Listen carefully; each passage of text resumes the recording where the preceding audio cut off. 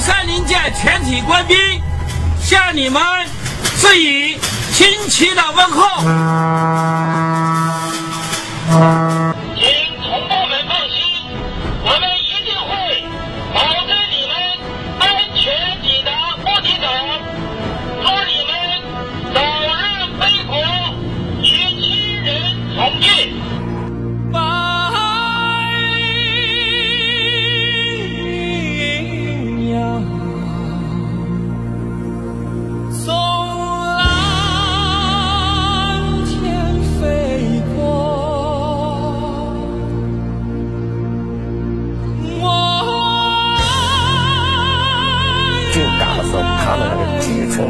长得全部都是黑压压的的一大片，他们统一在那里喊着“祖国。万岁”